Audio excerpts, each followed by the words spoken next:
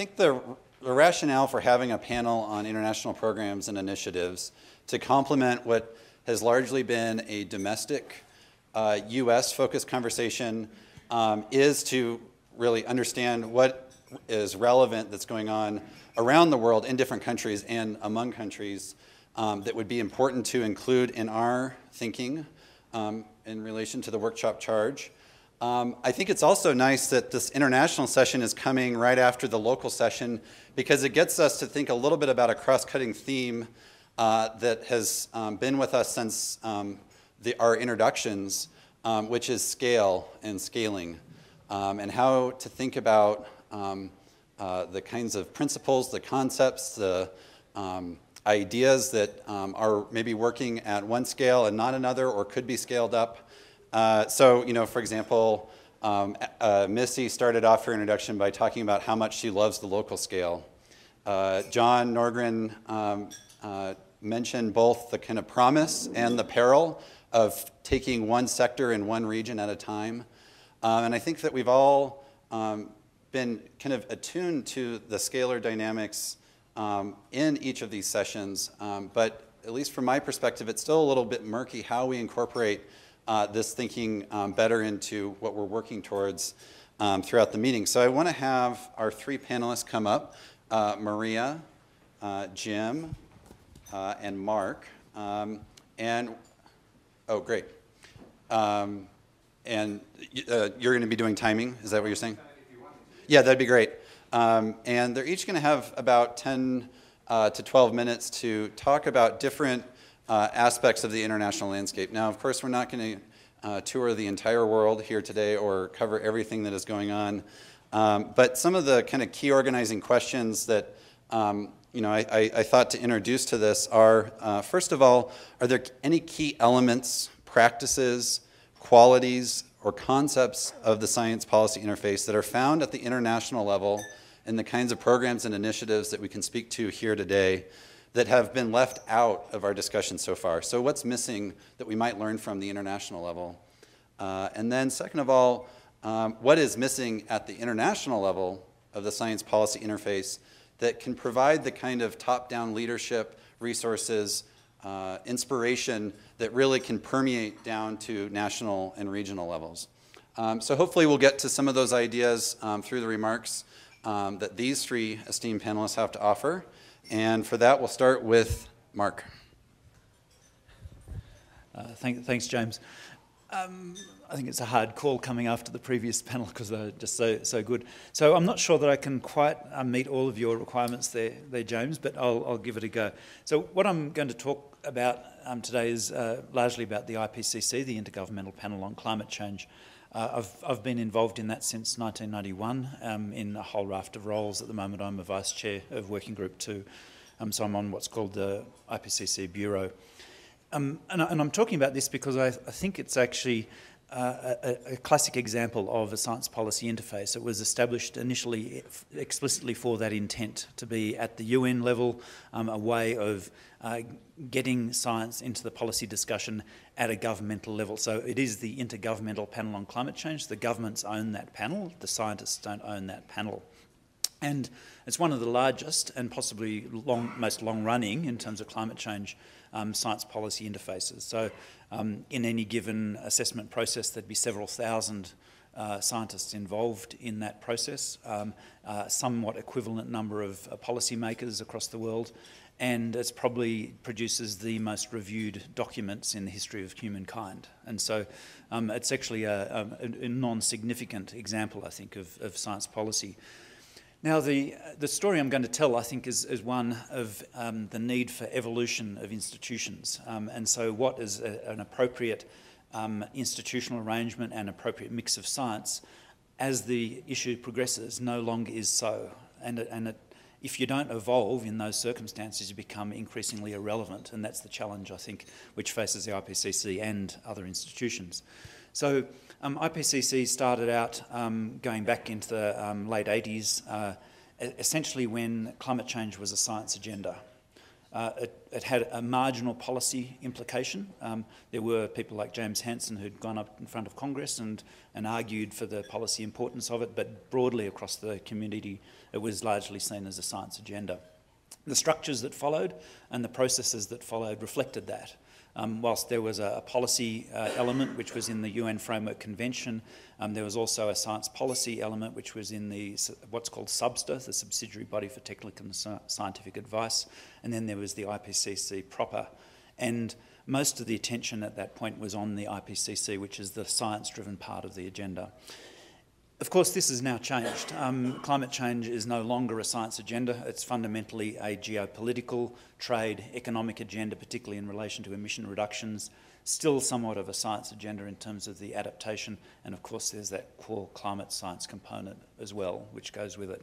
But, but the balance in terms of the, the discussion is now much more focused on that sort of economic and geopolitical elements.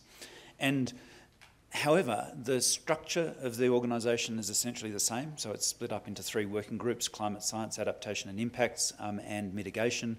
Uh, and the processes are almost exactly the same as they were in the past, even though the population of those processes has changed. So, for example, that science policy interface group, the um, SBSTA, is now essentially a policy body. There's very, very little science that goes into it. So it's actually lost its original intent, which was actually as that science policy interface. So, in the products, essentially, um, which started out essentially as what I call a big splash communications product. Um, so, every seven years, you get three big reports about this thick, or they're now about this thick. Um, uh, they hit the media for a couple of days and then they disappear, like everything does in the media cycle, uh, and they, they don't have a sustained impact. Um, there's also, um, so they, they have very little to do with our current conceptualisation of communication and communication needs. Um, they also lack currency, um, so in a fast moving environment, seven years, uh, there's a lot that happens in that seven years, and so they often aren't sufficiently um, current for particular policy discussions. Um, Historically, there's been extremely small opportunity for stakeholder input, um, almost zero, in fact, um, uh, apart from the policymakers themselves, and even that's quite restricted by the nature of the process. Uh, there's almost no integration across the um, working groups. That mainly occurs in what's called the synthesis report, and that itself um, essentially is split upon disciplinary lines rather than being truly integrative of the issues. And it's inherently conservative, and that's partly because of the voting processes in the IPCC. Um, it's a consensus voting process which applies to the approval of all of the products of the IPC and the branding of those products as IPCC um, branding. And the statements that come out have to be approved. And they have to be approved by every government of the world um, as to be an IPCC statement. So it means everyone has to agree, which inherently um, results in conservative statements, which in a sense downplay the risk. Um, so it, it, it, pushes it very, very much into the, I guess, the, the middle of the probability distribution rather than the extremes. Um, in the past, there's been essentially no use of modern communications, particularly social media, uh, and so the ability to connect with people has been has been quite limited. Uh, and there's been very few outreach events, so the ability to go and uh, engage with people to actually understand that contextual needs has been very limited. Um, in my view, that sort of structure and that sort of mode of operation is fundamentally flawed um, in the current environment. We can't afford to continue having the core science policy interface operating in a, a 20th century model. Um, we actually need to change that. So the sorts of things that I've um, sort of been trying to push for quite some years now um, is instead of the big splash operation is actually starting to, to release um, multiple products. So release them on a regular basis.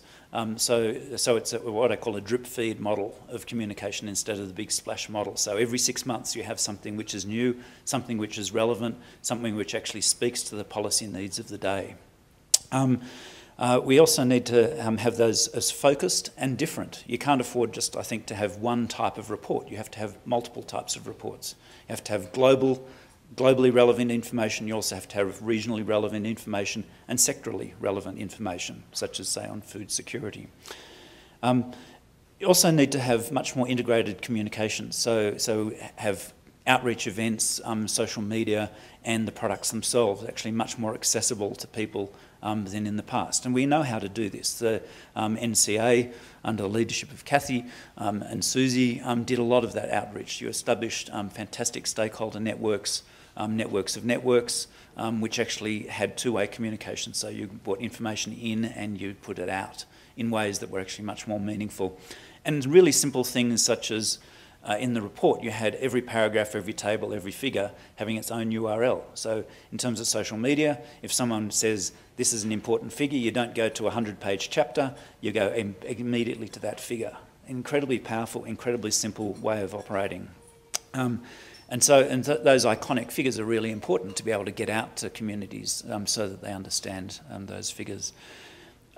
I think we also need, though, you also, as well as having those, um, in a sense, much more targeted and focused and regular reports, you still need to bring together this into some sort of comprehensive and consolidated activity. But I'd argue that that needs to happen on something like a more decadal basis rather than seven years. So you pull together all of those separate sectoral and regional reports, the more focused ones, and you pin them together and actually integrate them so you actually start to have a consolidated view.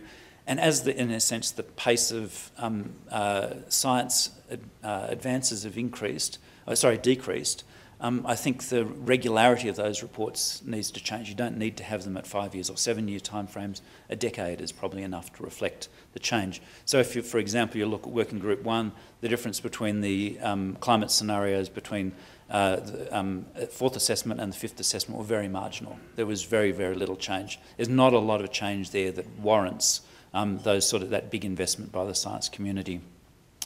And of course, we need to have much more out, effective outreach. We need to think about partnership models in terms of communication, um, which has implications for branding.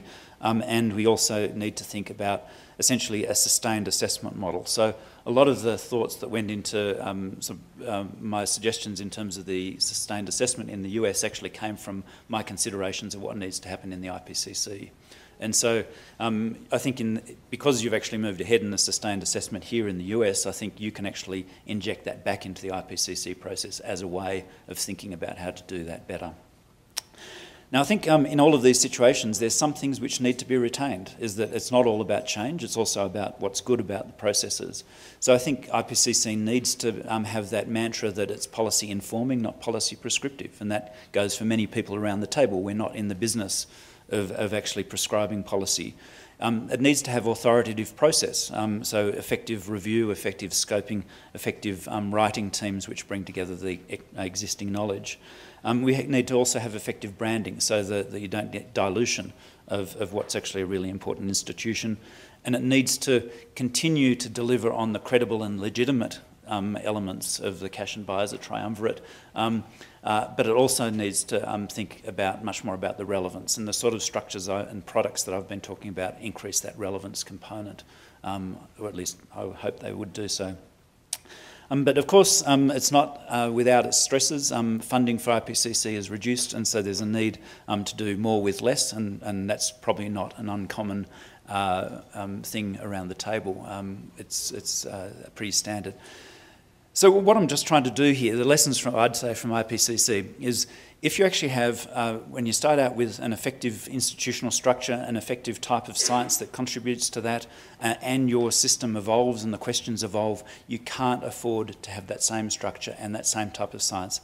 As the issues evolve, you actually need to change. You need to change the type of science you bring to the table, and you need to change the processes which make those, that science meaningful. Thank you.